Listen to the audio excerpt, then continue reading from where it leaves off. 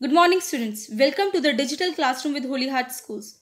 Today is the day 4 with our chapter Water Resources. In earlier videos, we have already learnt about the meaning of the word water resources, the sources of water on the earth, what do we mean by the word irrigation, why irrigation is important for India and for agriculture also, what are the factors needed for the development of agriculture. We have started up with the means of irrigation under which we know that there are two methods primitive method and modern methods of irrigation. We have started up with one of the primitive methods that is canals. Today we will be learning about the another primitive method of irrigation that is tanks. So today's objective is to learn about tank irrigation, about conditions necessary for building tanks in peninsular India, advantages of tank irrigation, disadvantages of tank irrigation and areas where they are found. While going through these topics, we will be learning some new words. Earthen, made of baked or fired clay. Earthen embankment. Earthen embankment is a raised confining structure made from compacted soil to confine runoff either surface storage or for the groundwater recharge. Impervious, not allowing water to pass through. Water table, the level below which the ground is saturated with water.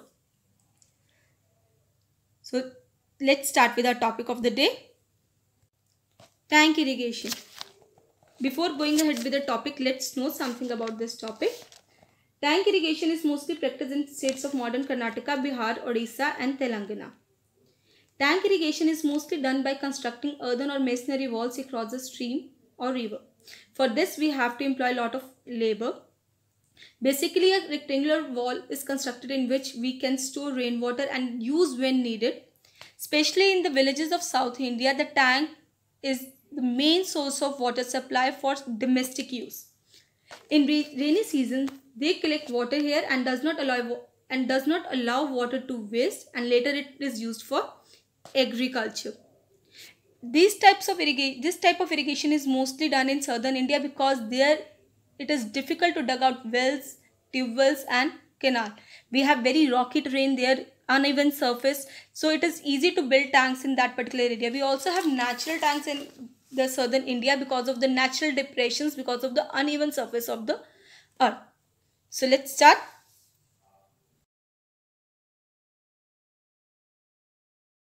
So let's start.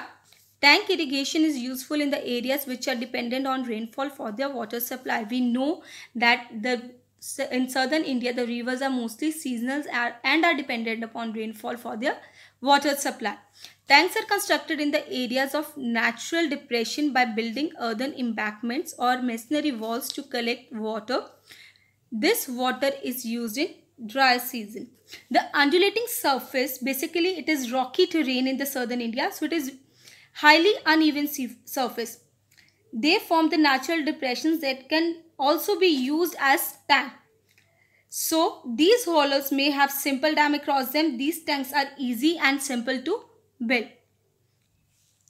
In India, about 12% of total irrigated areas is done by tanks.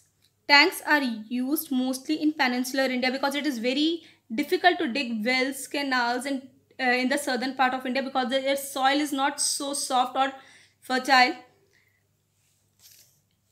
Where the underlying hard rocks do not allow the water to seep through because these the rocks found in the southern part of India is non-porous. They do not allow the water to percolate down in uh, into the ground. So it does not allow the water to seep down into the ground conditions necessary for building tanks in the peninsular India what are the main conditions number one condition is the main reasons for the popularity of tanks in peninsular India is most of the areas of the peninsular India is uneven with many natural depressions that we have already talked where the tanks are uh, can be built.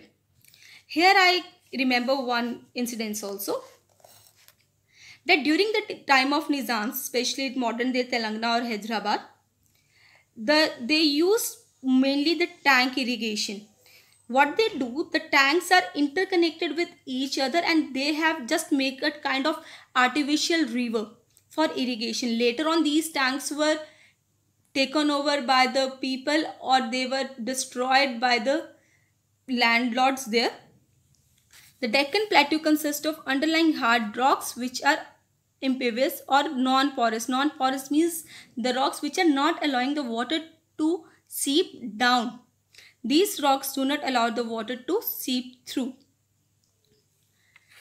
Peninsular India receives monsoon type of climate. Monsoon type of climate means these areas receive water in a particular season because they receive rain in a particular season.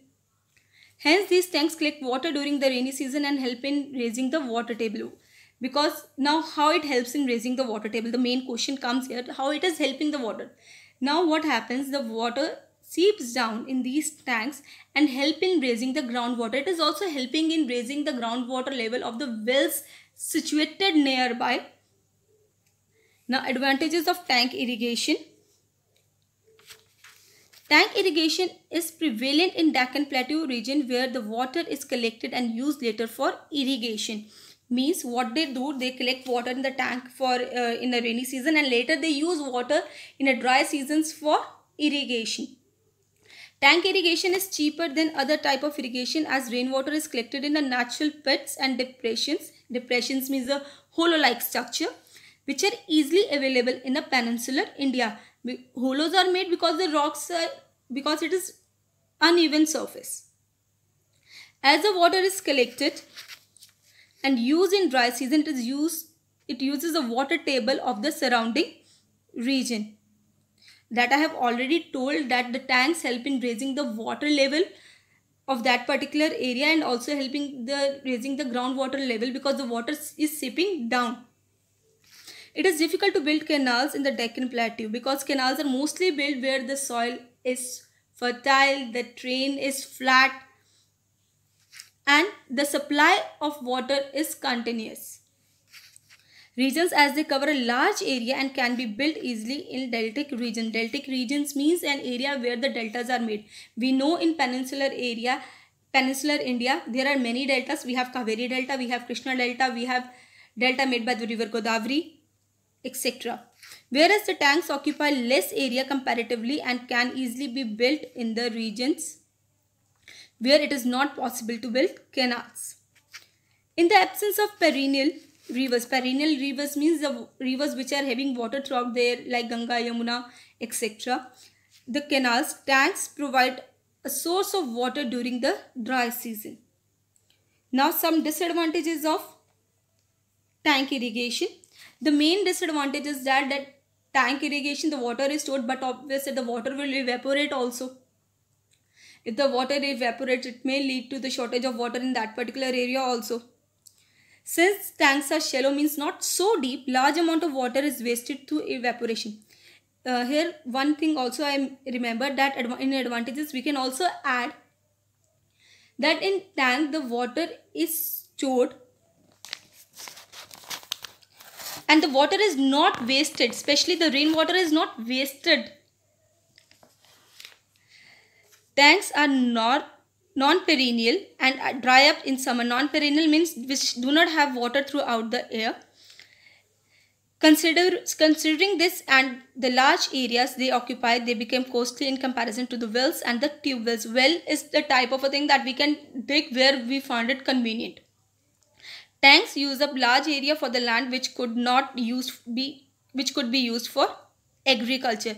We cannot make a tank small and compact. We need a large area to make a tank and it is very expensive to make the tank because it needs a lot of labor if it is not natural but obvious areas.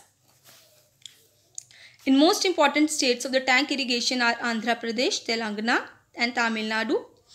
Other notable states for the tank irrigation are Odisha, Karnataka and Maharashtra. In northern India, the tank irrigation is prevalent in the states of West Bengal, Madhya Pradesh and Rajasthan. So students, this was the topic for the day. Please try to solve the back question answers and revise your previous topics also.